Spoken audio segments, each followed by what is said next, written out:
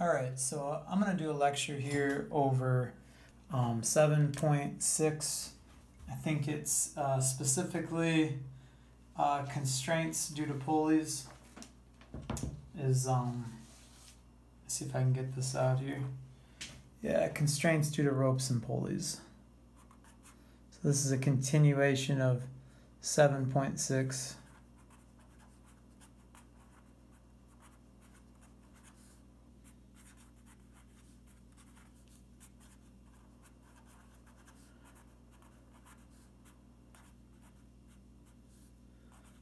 and and really what what the the point of it is is it's saying that if you have a say a uh, some kind of pulley here could be a uh, cylinder it could just be a um, yeah just a small cylinder uh, disc.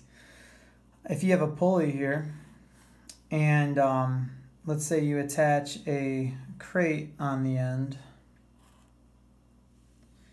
that the velocity of this crate or this object, we'll just call it the object. I apologize for the shadows. Um, yeah, I'll try and do my best here. Um, the velocity of the object, right, that this is moving, let's say it's moving um, downwards, that the velocity of that object has to be equal to the velocity of the, the rim of the uh, wheel. And, and because this is true, and we know the velocity of the rim of the wheel is equal to the uh, wheel's rotational velocity times the radius, then we can say that the velocity of the object is equal to omega r as well. So we can make this connection here that the velocity of the object is equal, sorry, is equal to omega r. And the same thing if, um, say, the object is accelerating.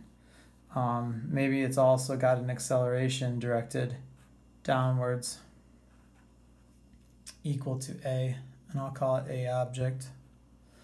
Then the acceleration of the object is equal to the acceleration of the rim, which is also equal to the angular velocity or angular acceleration of the, the rim times r. And so we can say that the acceleration of the object is equal to alpha r. So making this connection here, um, due to an object and a pulley because it's connected by a rope.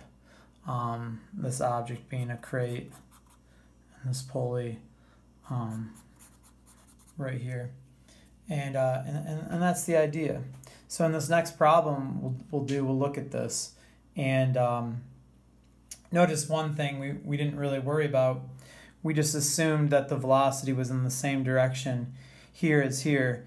Um, and I guess it kind of is, right? If this was rotating, say this way, um, that uh, that would be a um, negative angular velocity, but we're really not going to worry about it too much, just as long as it matches up.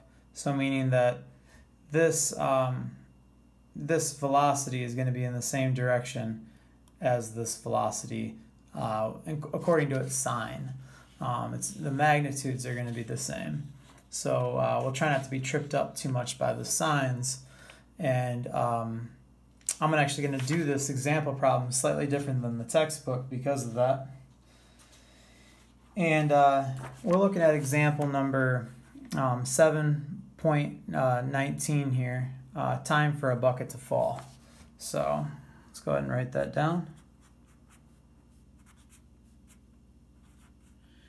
And uh, in this problem, it says that Josh has raised a bucket up with a, uh, uh, it says a, a 2.5 kilogram bucket of water using a Wells winch when he uh, accidentally let go of the handle. Um, so what we have here is something like this. I'm just going to go ahead and make the sketch. Uh, we have a cylinder. and we have the rope that's going around the cylinder and I think over on this side we have the bucket that is hanging down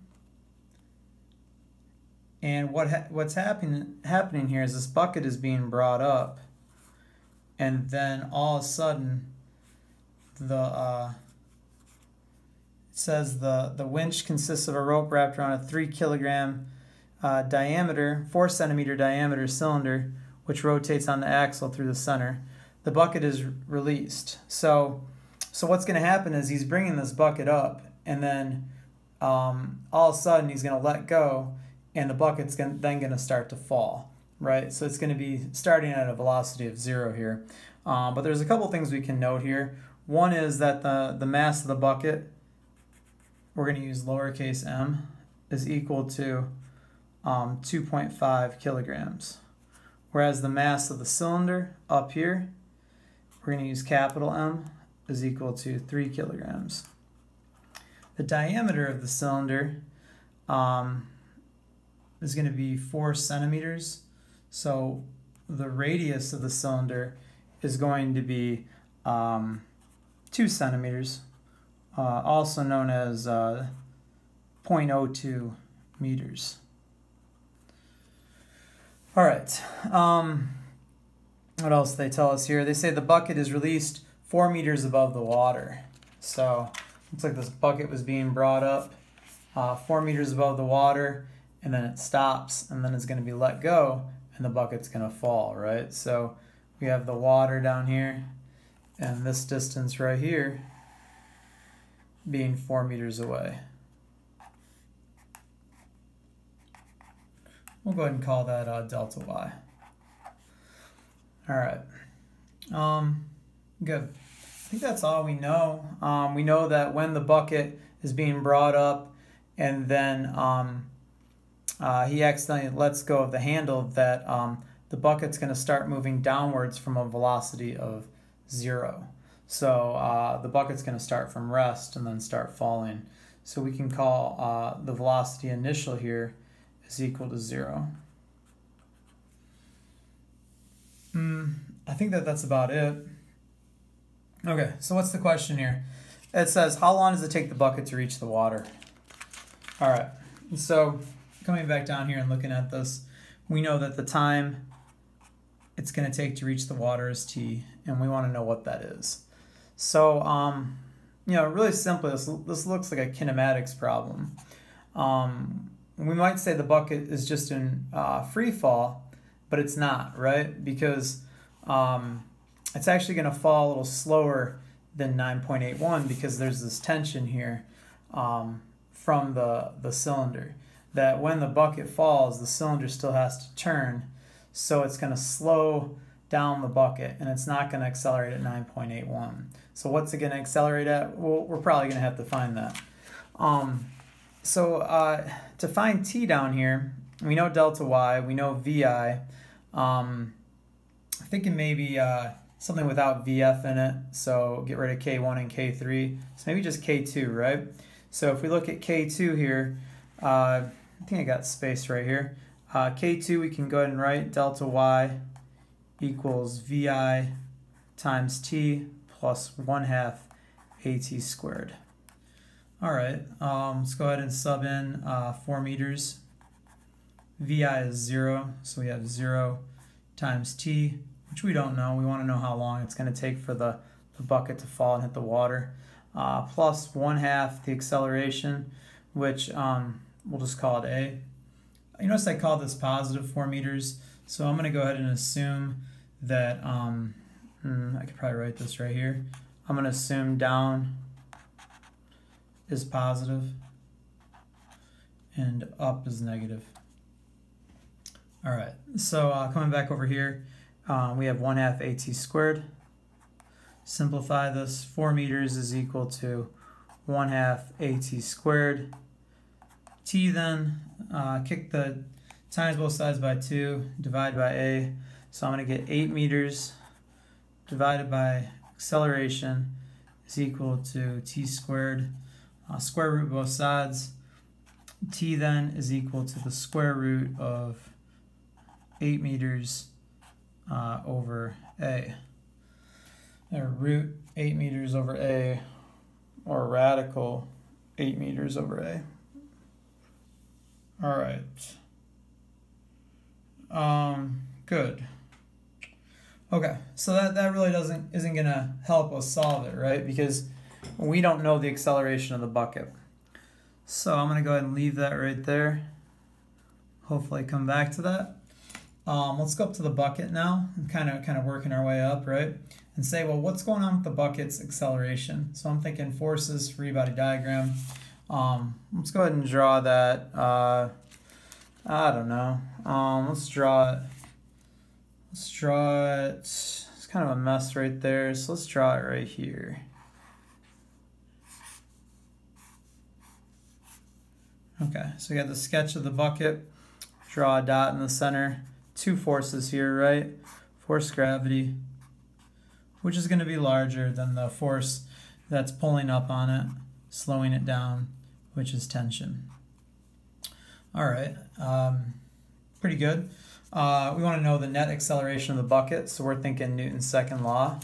Um, let's go ahead and write that. So Newton's second law in the y direction. So sum of the forces in the y direction is equal to may. All right, we got uh, forces in the y direction. T is pointed up. Fg is pointed down. But we're going to call, yeah, we're going to call Fg positive, right? Because down is positive y. So I probably should have wrote that as uh, Fg minus T, right? Ooh, this is just turning into a mess. Let me write that over.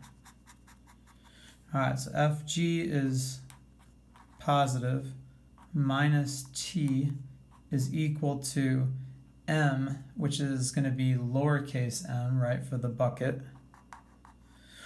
Um, and uh, acceleration is just going to equal A.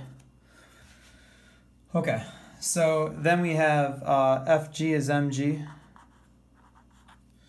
um, minus t, which we don't know what that is, uh, equals m times a.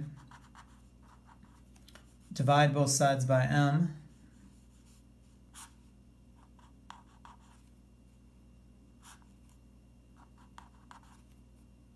Okay. Just looking at that. All right, so we're going to end up getting uh, mg, mg divided by m, which is just going to be g, right, minus t divided by m. So Remember, both the g, mg has to be divided by m, and the t has to be divided by m, is equal to the acceleration.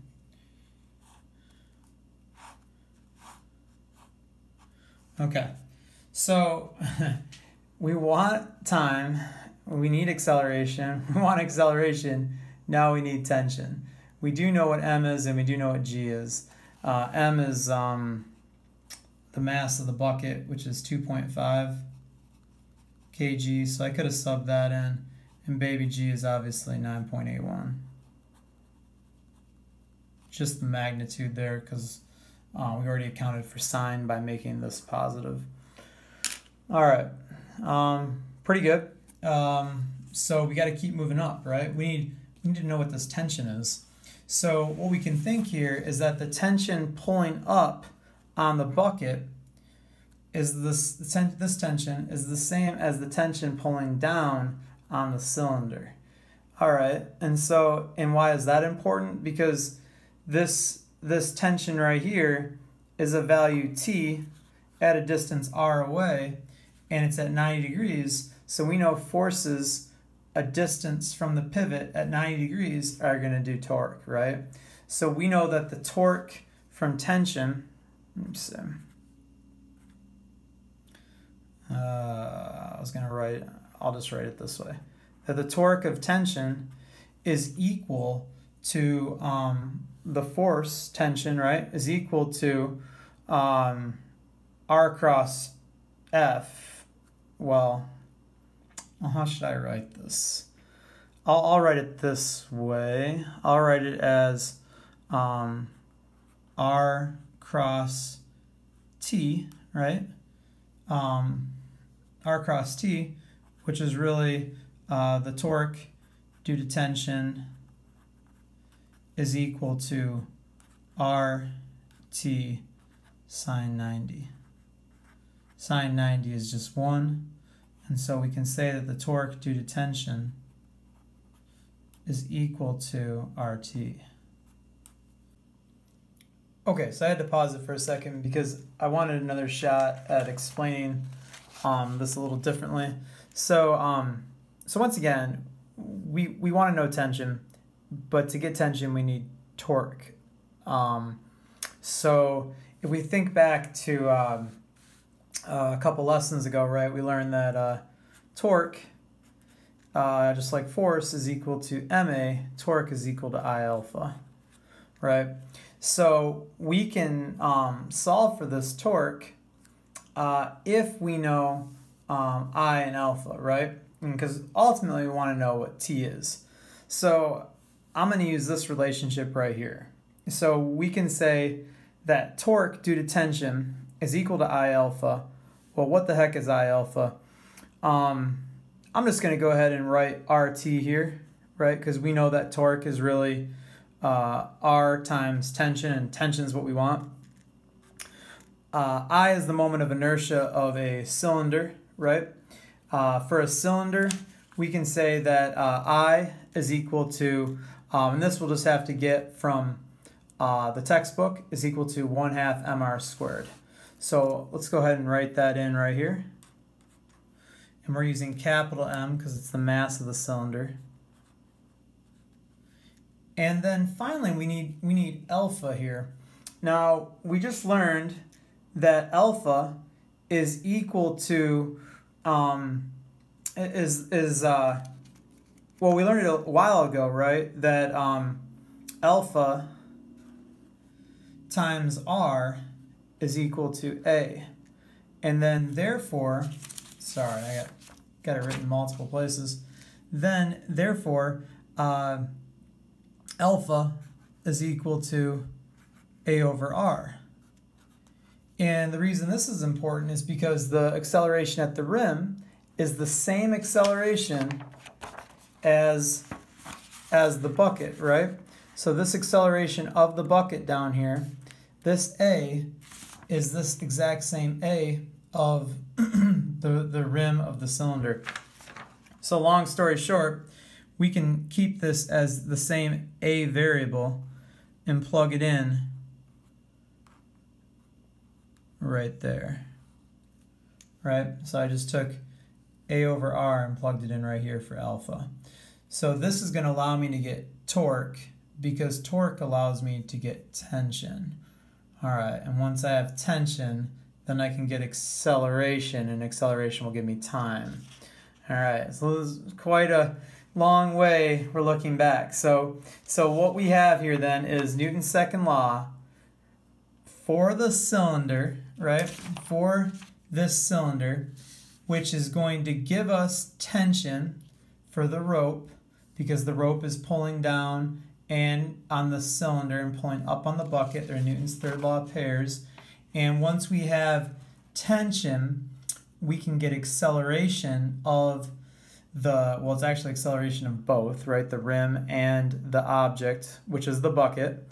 And once we have that, then we know the time the bucket takes to get to the ground because it's accelerating down after it was let go.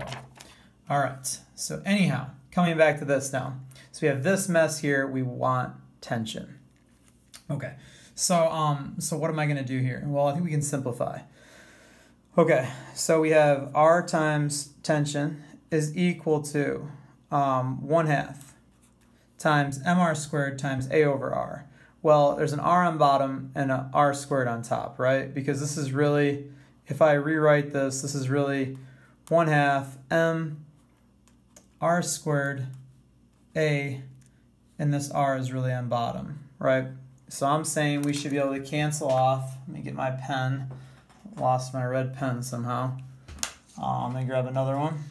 No, it's in my, it's in, no, all right. Um, so I'm gonna cancel off one of these R's, just like that.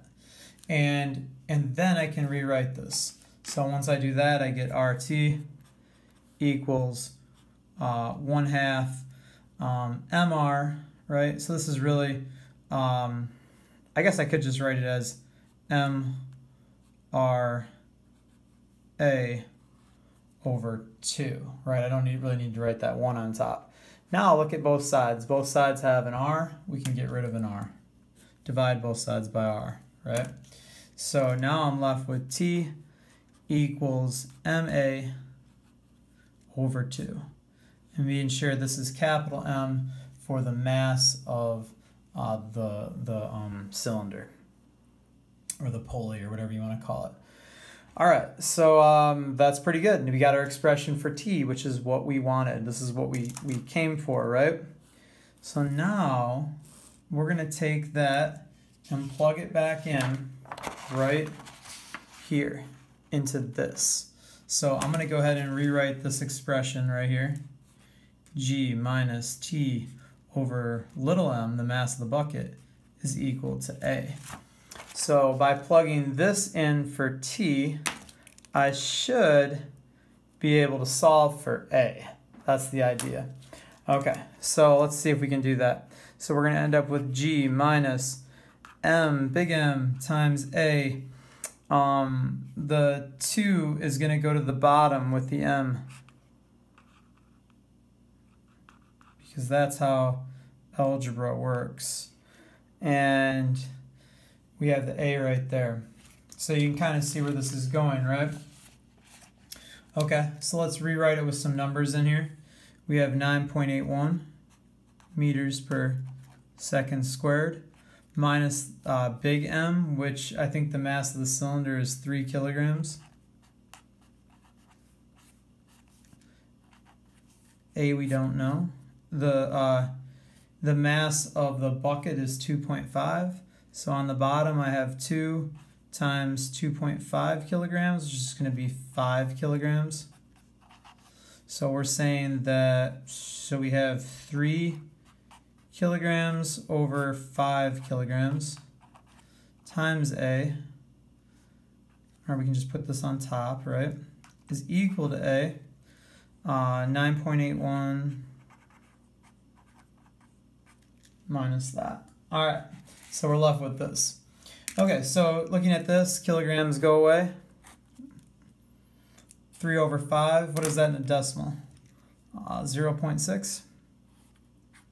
Sure.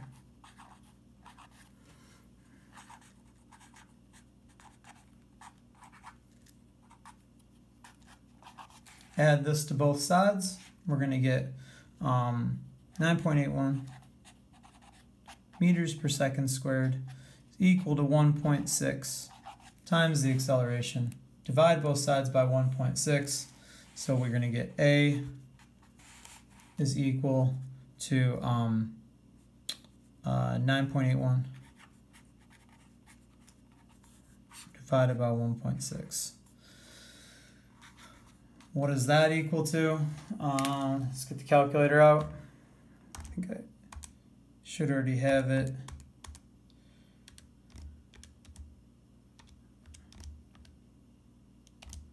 Six point one three. Uh, yeah. So we're gonna go ahead. Whoops. 6.13 meters per second squared.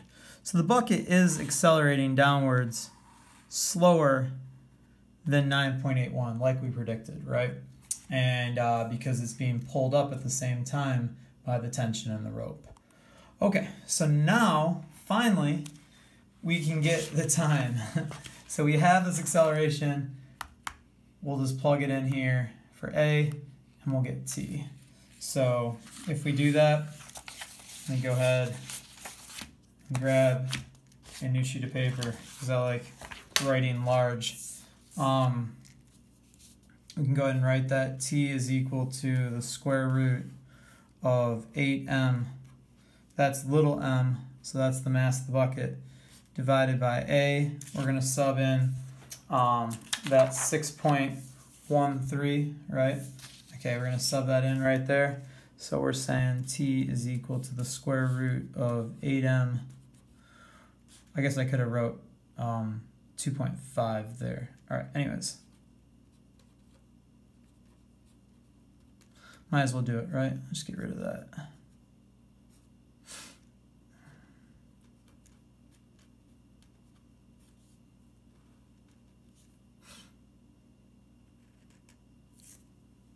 Mm. Okay. Not super happy with those units. Why don't I like that? Let me think about that. Um,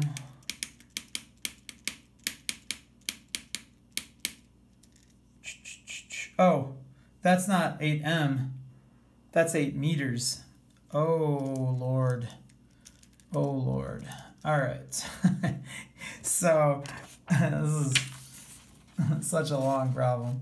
This is 8 meters, 4 meters, 8 meters. I got to be really careful there. Um, that's, that's dangerous. That looked like the mass of the bucket. All right. So coming back to this, let's correct it. we can then say that this is just 8 meters on top. We don't need any of this, right? And so why is that important? Because meters cancel meters. Second squared is a fraction on the bottom of the fraction. Floats to the top. So we can say then t is equal to the square root of 8 seconds squared over 6.13. And so we're going to square root 8 over 6.13. We're going to square root the seconds squared. So if we do that, we get uh, 8 divided by 6.13 is equal to 1.305. We're then going to take the square root of that, square root, second answer, and we get 1.14, or as the book has it, 1.1 seconds. So go ahead and write that down.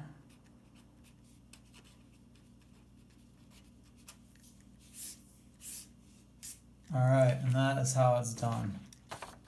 All right, so once again, we had a, a bucket attached to a pulley. We wanted to know how long it took to hit the ground. We came up with this expression, t equals square root of 8 meters over the acceleration. We needed the acceleration, so we looked at the bucket, drew a free body diagram, wrote Newton's second law for the um, in the y direction to find acceleration we got this expression right here and uh, and that was good um, because uh, that told us um, that we needed tension. So then we looked up here at the cylinder. We we knew that the tension was equal to uh, the the radius times or the the torque due to tension is, is equal torque is equal to the radius times the tension. We want tension. So if we can get torque, we can get tension. So we know that torque is I alpha. Uh, torque is equal to RT. I just plugged it in right there because I really want T. I is 1 half mr squared for a cylinder. Alpha, alpha is equal to rearranging A equals alpha R. Alpha is equal to A over R. Um, solved it for T, got an expression for T. Plug the expression for T back in here found A is 6.13 or so. I can't remember off the top of my head. 6.13, yeah. And and then plug that in here for time. Square root 8 meters, not mass. Be careful. Divided by 6.13 meters per second squared and solve for the t of 1.14 seconds or 1.1 seconds to hit the water. All right, that's how it's done. Um, I'm going to talk a little bit about rolling and then we'll call it quits. All right, so the idea with rolling motion is that, um, and this is probably better drawn in the book than I'm going to draw it here, but uh, doesn't mean we can't talk about it. Okay, the idea with rolling motion is that when um, an object I think in the book they just call it rolling motion. So I'm going to go ahead and write that at the top.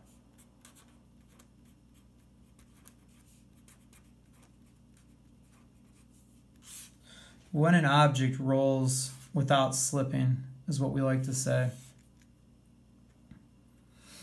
Um, as this goes through one revolution, one complete roll from here to say here, this distance that it travels is uh, in in one revolution. So I'm to write uh, maybe the wheels rolling this direction.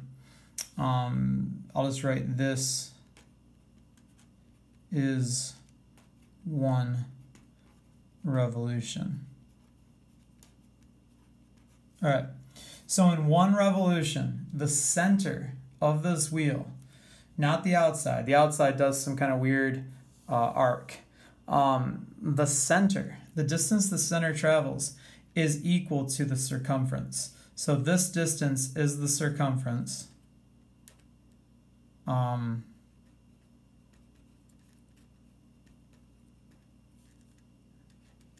and so this distance is delta x, which is equal to circumference of a circle, which is 2 pi, I'm going to use capital R because I can. All right, is equal to 2 pi r.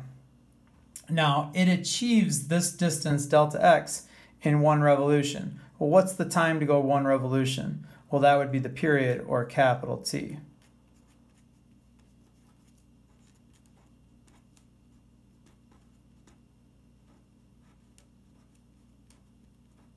Right? Okay. So if we want to know the velocity of the center of the wheel, it's equal to delta x then divided by the time, right? Well, delta x is going to be 2 pi r, right? Because we said that that's the distance it's going to travel in one revolution for the center. And the time is going to be the period, or t. Now, if the units are, um, say, um, mm, say radians, right? Uh, then we have radians, 2 pi radians right here.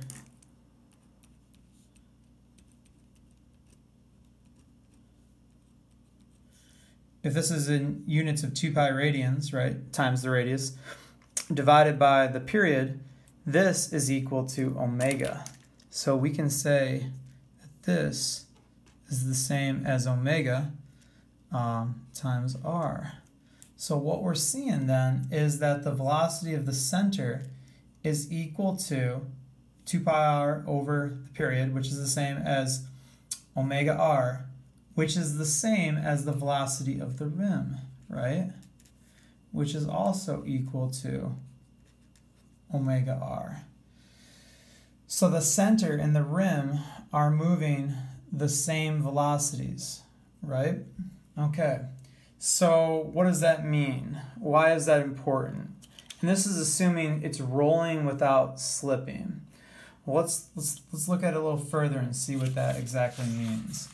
Well, all right. So if you have um, a, a rolling object, you have two types of motion. And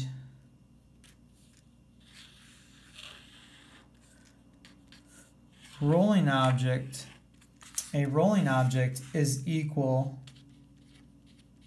to the combination of two types of motion. One is translational, and one is rotational. Rotational. Spelling not great right now. All right, so what we have here then is translational. So assuming this object's moving that way, right, rolling that way, um, we know that if it wasn't rolling and it was merely just moving this direction, then this point, this point, and this point would all have a velocity like so.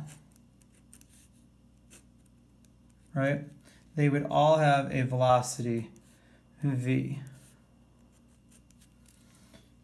Now, we also know that if it wasn't moving, if it wasn't sliding, right, this way, and it was just spinning, right, and not moving, that it would have this velocity right here, um, would be, uh, well, it would be, um, it would be equal to, um, it would be equal to omega times r, right? Because this is spinning this way, right? Right here. So we know that um, rotationally, this would be, uh, we'll call it positive omega r because it's going forward. And down here, we would have this rotation, which would be negative omega r. Now I realize that's counterclockwise, or no, uh, this is both clockwise, and, and I'm making it, uh, I'm making one positive and one negative, but, but you get the idea because this rotational velocity here is equal to v, and this rotational velocity here is equal to negative v, right? Because it's moving backwards.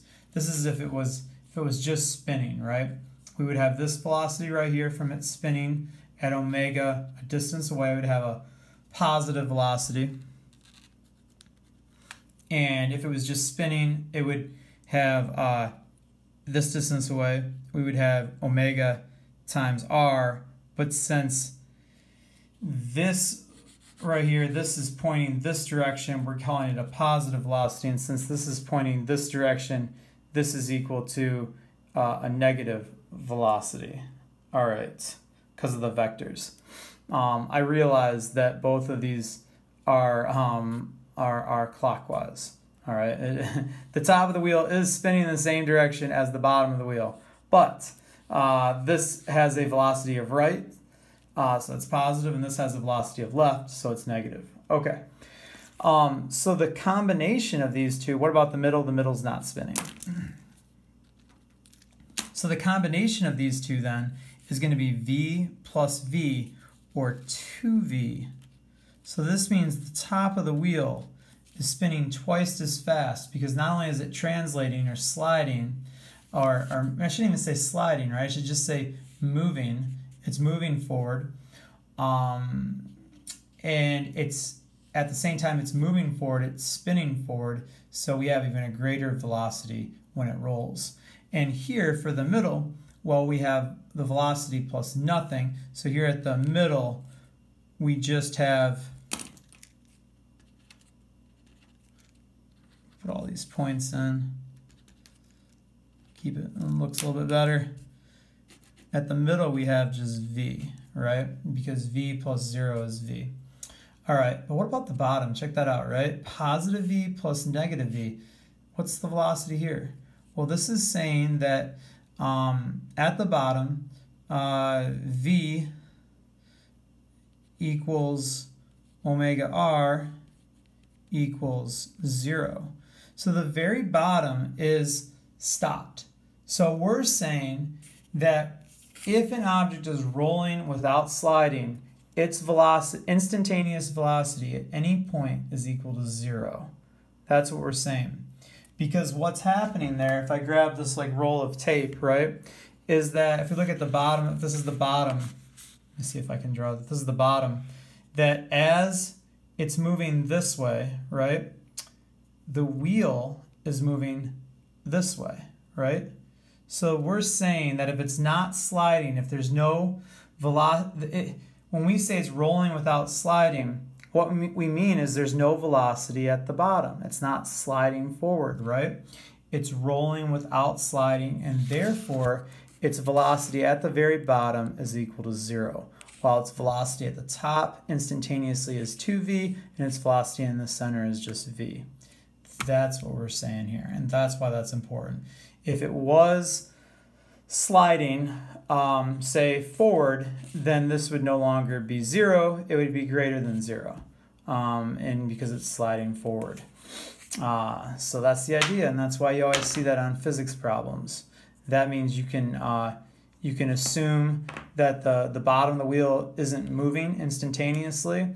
Um, you can assume that uh, that the velocity of the center is equal to omega r and that the velocity of the rim is equal to omega r. And um, if the object is um, rolling without um, slipping or rolling without sliding. So um, that that's why um, we need to set this up. All right, hopefully that's a little clearer. If not, obviously read the book and hopefully uh, both explanations together help and uh, and we'll call it there. So um, that's it.